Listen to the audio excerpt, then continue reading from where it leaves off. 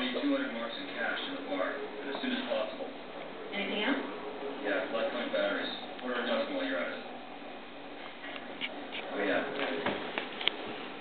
Condoms. What? Condoms. Your side? luck.